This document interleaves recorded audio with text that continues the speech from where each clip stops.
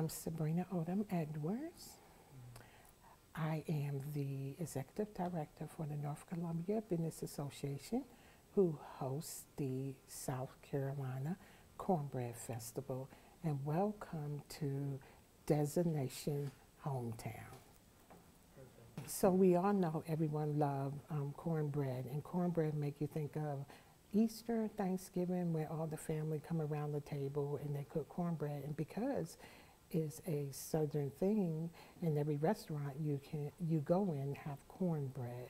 So six years ago, we decided to bring the Cornbread Festival to North Columbia we wanted to bring people together, and the best way to bring people together is music and food.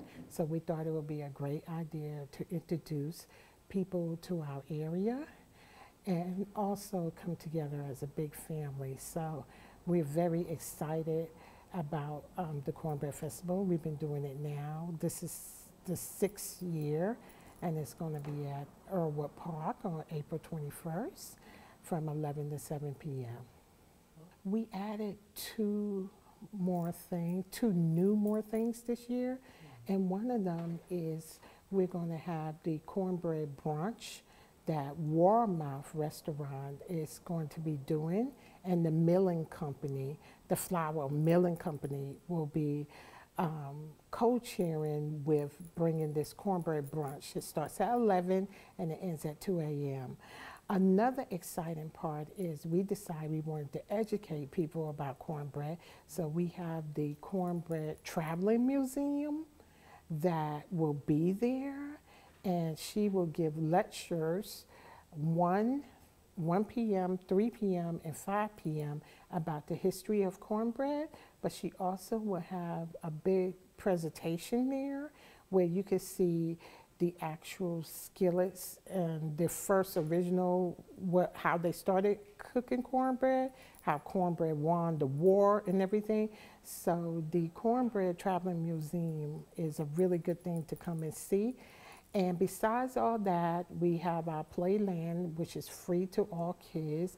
And then we have almost every vendor who will be cooking a different kind of cornbread that you can taste. So it will be cornbread around the park. We'll have a um, car show.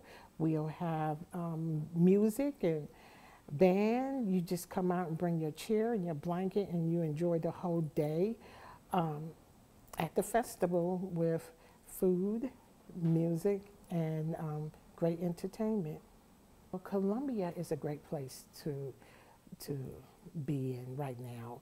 Um, so they just don't have to come and just go to the Cornbread Festival, but we also got the Spirit Communication Park, so we have a baseball team, the Fireflies will be playing on that day. So it's other activities they can do in the city, and then they can spend the whole day in the city um, participating in other activities. We just asked for them to start with the South Carolina Cornbread Festival, bring their family, um, bring their children and their grandchildren.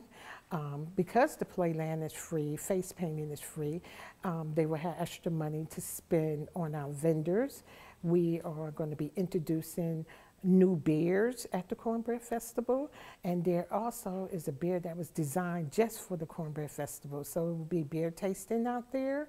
So come and enjoy that, and then um, later on, maybe go to a Firefly game or go downtown on Main Street. We have great stuff going on down there, the Soda City Market. So it's plenty to do in Columbia, and the Cornbread Festival is at Earlewood Park. It's right a mile away from Main Street and only a mile away from the uh, Spirit Communication Park. So it's great things to do in Columbia. So come and join us for a whole day of fun, starting with the South Carolina Cornbread Festival.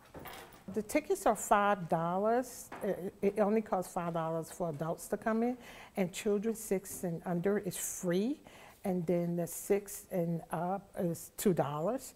So um, For more information, you can go to our Facebook page, SC Cornbread Festival, and it will have the band schedule on there. We'll have um, Matt Arnold and the Play the Blues who's coming. We'll have Danielle Howe coming.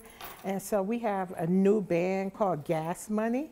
So um, just go to SC Cornbread Festival Facebook page, and they'll give you all the information you need. My name is Sabrina Odom Edwards, and thank you for watching Designation Hometown.